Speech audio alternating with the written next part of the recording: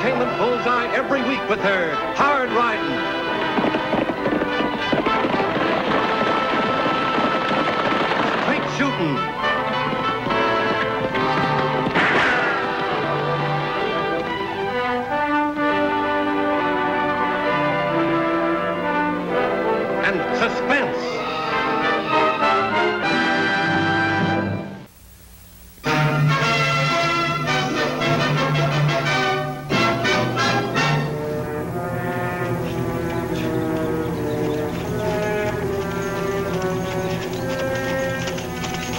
Looks like that marshal ain't ever gonna quit.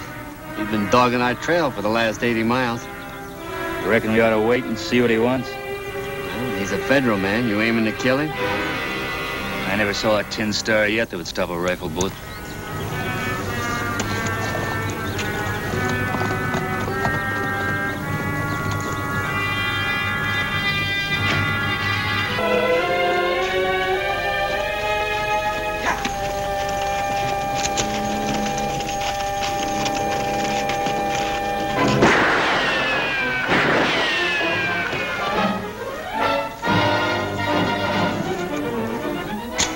Cover me.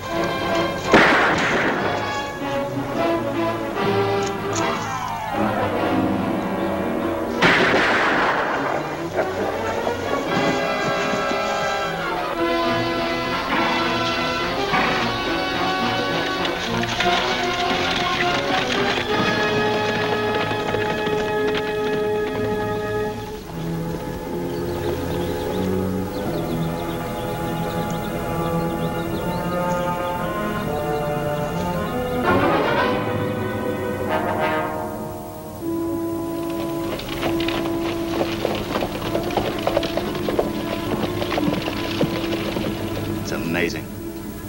Heard that everyone has a double, but this is almost frightening. What did you say his name was, Marshal? Mort Kenyon. Down from Oregon. He's got a bad reputation as a fast gun and a killer. And you figure that we can keep that reputation alive, huh? If you'll go along with it, I can handle things here in Diablo. But Kenyon's partner got away. Suppose he shows up in Sonoma. That's a calculated risk, Annie, but one that's worth taking. I don't think you two realize that if our plan works, we'll crank the biggest counterfeiting operation in the Southwest. It'll be dangerous, though, won't it, Marshal? Yes, it'll be dangerous, Annie. The sheriff in Sonoma was killed. Apparently, he got too close to the counterfeiters. Is there any law in Sonoma now? Deputy sheriff. Taking me a while to grow a mustache. You'll do it? Annie? My part's easy. Tag's been wanting to go to the fair at Sonoma.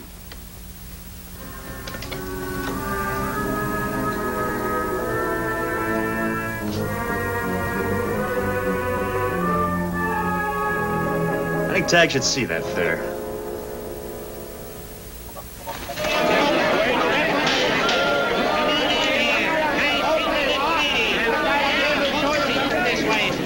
You stay out of trouble, young man. Sure, sis.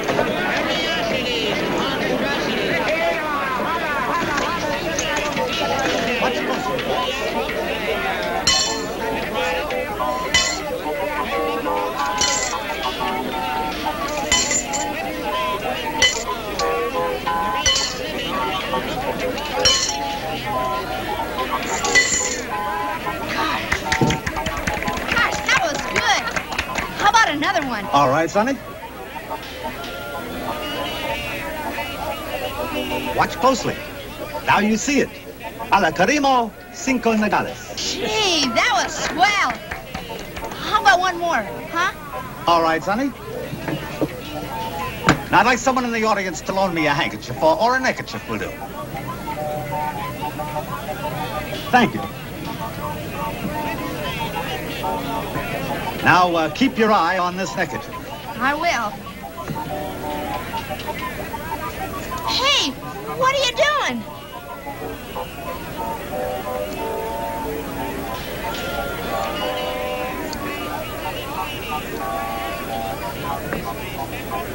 But don't worry, young man. A few uh, words of mystery will restore the handkerchief completely. What were those words again? You better remember them. Oh, yes, I remember now. Fourth cloth, start to mend. Come together for a friend. Say,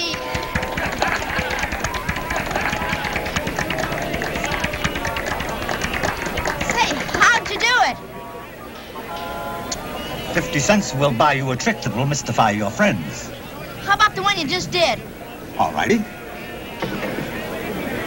Thousands of years of mystery brought down through the ages for a half a dollar. A half a dollar? That's not much.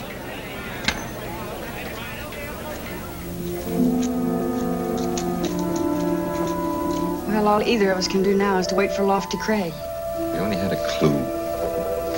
That sheriff that was killed, Will Stevens, did he ever talk to you about anything? No, he didn't talk very much about his cases unless he was sure.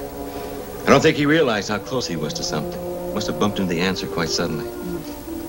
Did he have any family? Mm-hmm. A niece, Laura Stevens, my fiancée. She'll sure be glad that something's finally being done. Well, she can't know now. We can't risk telling anyone else. Yeah, I understand. Oh, by the way, she manages the hotel here in town. Are you going to stay there? Yes. Oh, I'll walk you over. When is Deputy Craig arriving in town? He's coming in this afternoon. And that's when your plan starts, huh? Yes. All we can hope then is that it works.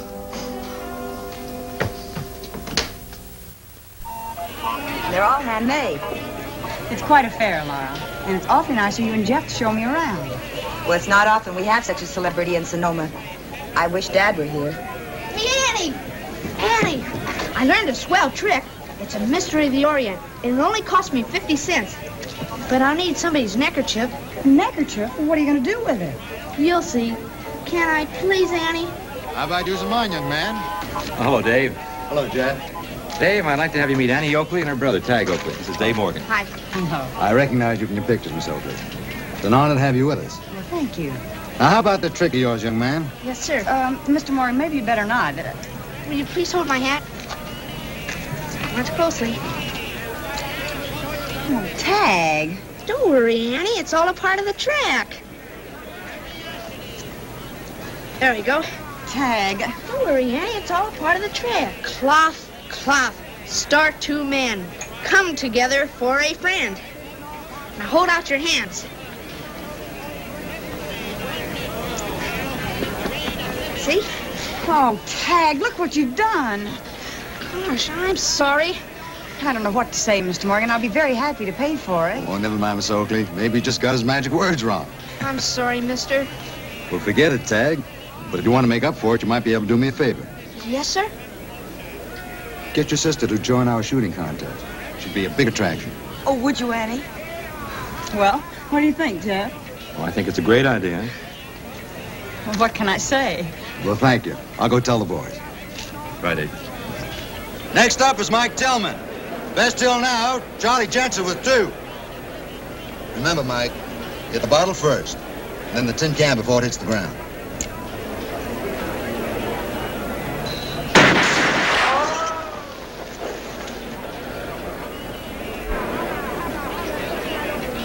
Three times. You're the last shooter, Miss Oakley. Come on, Annie.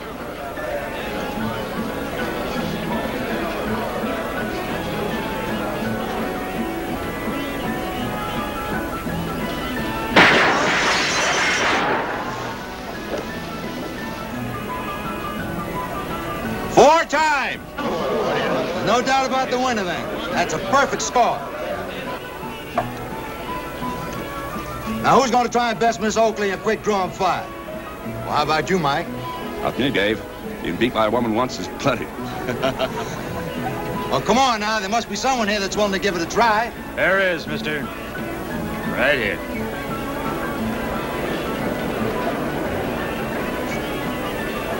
Maybe you didn't hear the lady's name, mister. It's Annie Oakley. She's the fastest shot in the territory. Maybe I didn't tell you my name. It's Mort Kenyon. And up in Oregon, where I come from, women folks tend to their sewing. Like they ought. Mort Kenyon. I remember seeing pictures of you. On post office walls. Jeff, you're not going to let him in the contest. What can I do, Laura? There's no law that says a contest is restricted. He's a killer. Dad would have run him out of town. Sorry, honey, but he's not wanted in this part of the country. I can't legally stop him. Glad you feel that way, Deputy. I just might stick around this town for a while. You got no objections to that? Have you? Well, not if you stay clean. Set up two targets. Game, Miss Oakley?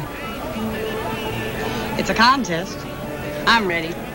Honey, aren't you going to stay and watch? You watch. You're the one that welcomes Mr. Kenyon into our town. All right, you two. See the targets down there? And when I give the signal, you both draw and fire. Start on the outside glass, working towards the smaller one in the center. We know the rules. Just give the signal. All right, you start on the left, Kenyon. Miss Oakley, you on the right. You ready? Go! He beat Annie Oakley. Like I said, women should tend to their sewing.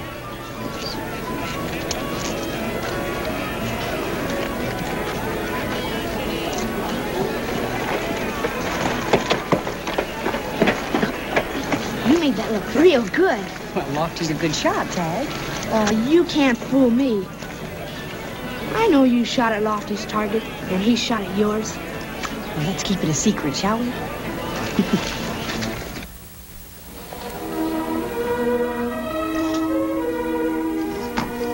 Cloth, cloth, start to mend. Come together for a friend. Doggone it, I just don't get it. We'll stick with it, Tag.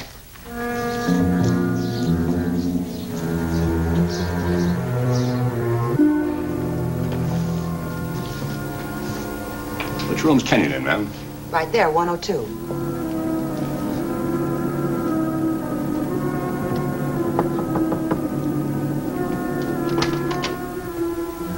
Yeah?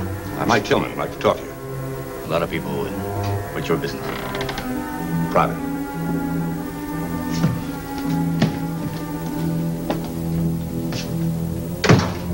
All right, what's in your mind? I was just going out. I got a proposition might interest you. Well, you want to listen? Make it fast. You're good with a gun, Kenyon. We can use a man like you. We? My boss and me. We saw you outshoot Annie Oakley. A guy with a talent like that can make himself a little dough. Doing what? Let's take a little trip. We got to deliver a package. There's 500 in it for you. It's a lot of money for delivering a package. What's in it? Well, you interested or aren't you? I might be. After I talk to your boss.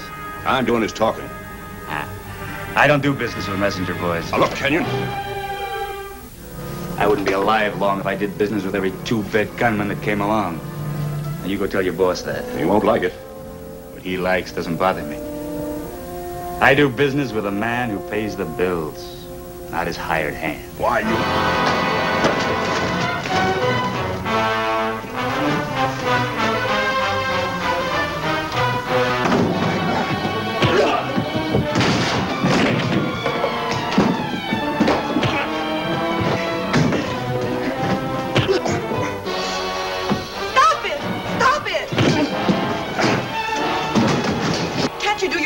outside? Gonna bite you now.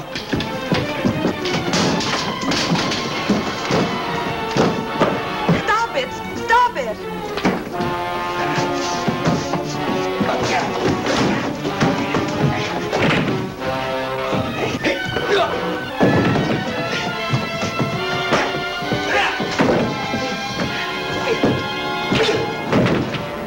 Honey, what happened? Oh, I don't know, but they've just about wrecked the lobby. That Kenyon's a troublemaker. You've got to get rid of him, Jeff. All right, now run along, messenger boy. Tell your boss what I said. Jeff, do something. Arrest them. Honey, I'm sorry, but there's no law against fighting. Seems like there's no law against anything since he came to town. Mr. Kenyon will pay for the damages, won't you, Mr. Kenyon? Anything you say, little lady. A man like Kenyon's got no place in Sonoma. No telling what he'll do next. Sheriff Stevens would have run him out long before this. Kenyon hasn't broken any laws. What can I do? Looks like you don't want to do anything. Honey, please. It seems like I've been wrong about a lot of things. Laura. Jeff, let her go. There's nothing you can say now. Annie, I'm losing my girl. The way things are shaping up, it looks like my job is none too safe.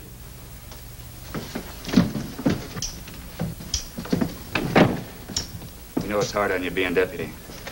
Maybe it'll all be over soon. Laura will understand when she finds out the truth.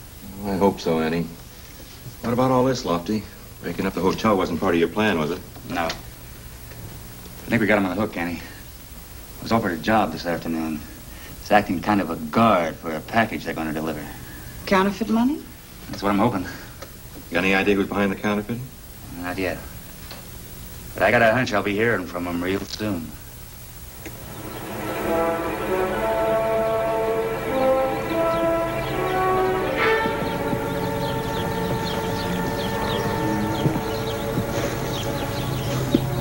You're a hard man to contact, Kenyon. But I admire your caution. Save the soft talk, mister. Let's hear your deal. I'm delivering some money to Colton the day after tomorrow. I just want to be sure it gets there safely. What's the matter with Wells Fargo? This money of mine, well, uh, it's a little different than most. Why? You make it yourself? As a matter of fact, yes. I haven't had much experience with counterfeiting. I'm dealing with strangers in Colton. I'm willing to pay for a good gun. I've worked a long time on this shipment. I want to be sure it gets there safely. And I get 500, right? In cash, in real money. In real money. When do we start? We'll meet here today after tomorrow. Four o'clock. It's a deal? I'm in.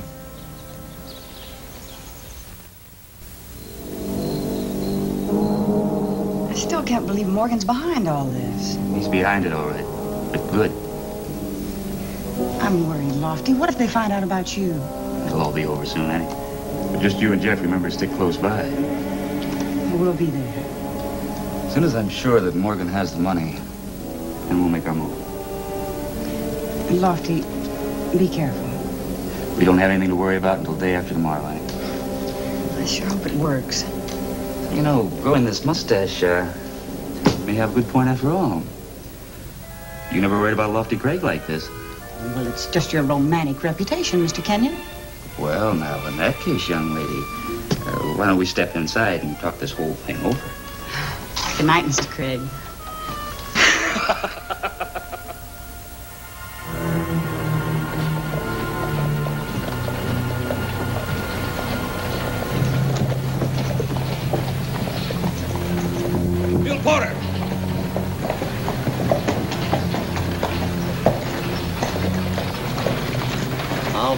doggone.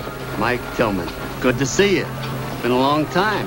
Brings you down this way. Oh, nothing special. Why, you got something on the fire? Been around a couple of days ago, you could have made yourself a bundle. Oh, yeah? Yeah. Boss hired another guy. You might know him. Mort Kenyon. Mort Kenyon? You're crazy. What do you mean? Kenyon is dead. I was with him when he got it. Oh, no, he couldn't be. I've seen pictures of Mort Kenyon. It's him, all right. I tell you, Kenyon was killed. It was a U.S. Marshal that done it. If he was Mort Kenyon, he'd know you, wouldn't he? Sure he was. We rode together for more than five months. Come on, Gil. Let's go see the boss. You may get that job after all.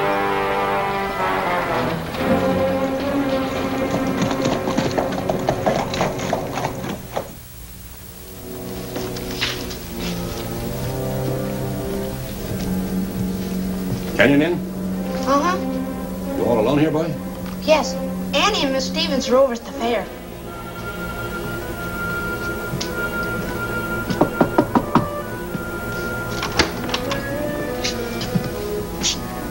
You're early, mister. A day early. Plans have changed, Kenyon. Boss wants to see you right away. Anything wrong? No, just something you forgot about. Get your hat.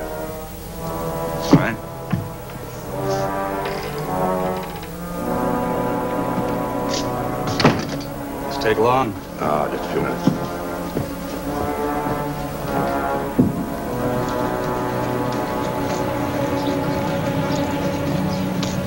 Where are we going? Relax. Just follow me. We'll go in the back way.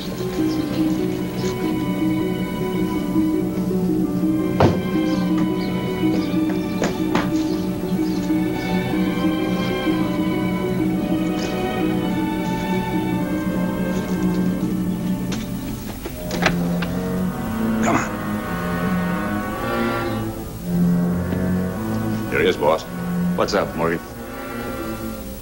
I had ideas about sleeping today. want you to meet a friend of mine, Gil Porter.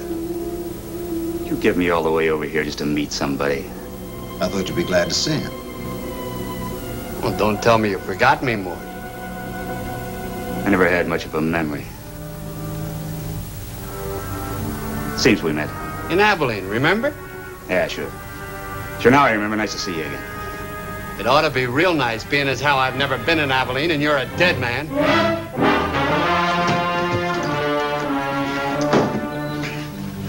If I hadn't have seen Mort killed, I'd swear this guy was here. All right, mister. Who are you? You're asking the questions? I've got one. Who are you working with? I'll make him talk, boss.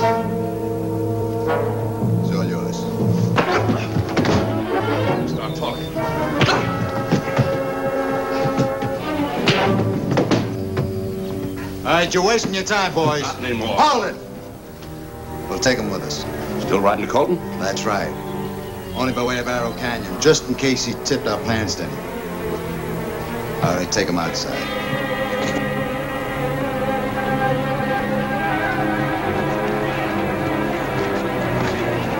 Annie! Hey, Annie! Annie! What's wrong, Tag? Lofty, they've got him. They're taking him to Arrow Canyon. They're in Mr. Morgan's office, just getting ready to leave. Annie, what's this all about? Tag will explain, Laura. I've got to get Jeff.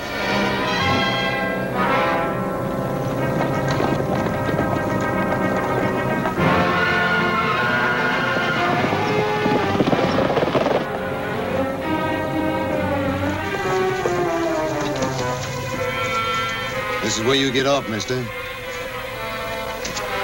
heard what the man said. Dismount.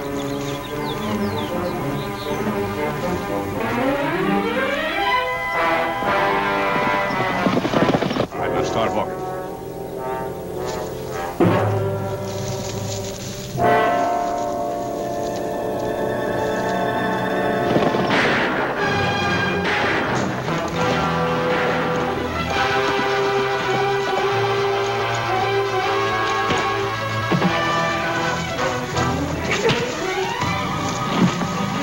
Nice going, Lofty. Where's the package? Morgan saddlebags. 50,000 in counterfeit built. Oh, everything is fine. Now all I got to do is explain to Laura. I'll do that for you, Jeff. As soon as I shave this thing off. I don't know what to say. I didn't understand. I'm sorry, Jeff. Wasn't your fault, Laura. It was the only way we could get to the counterfeiters. And when the others in town find out about it, I'm sure they'll understand, too. Well, I wish you could stay on. The fair will run for three more days. No, we have to get on back. Before Tag loses any more money with tricks that don't work. All set, Annie. Why, Annie, he's actually handsome. If you like the type. Say, I never did get a chance to show you my trick, Lofty. I'm sure it'll work this time. Trick? What kind of a trick? Oh, it's really an amazing trick, Lofty. Uh, just let him tag your neckerchief. A neckerchief. Oh, go ahead. It's really worth it. All right. But take it easy, will you? I just bought that one.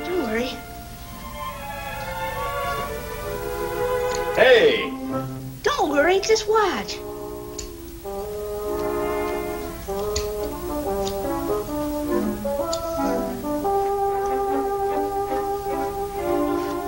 Cloth, cloth, start to mend. Come together for a friend. Hold out your hands, Lofty.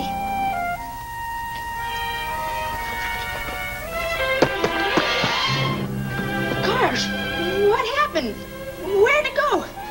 I just don't understand it. It's very simple, Tag. You're just too good a magician.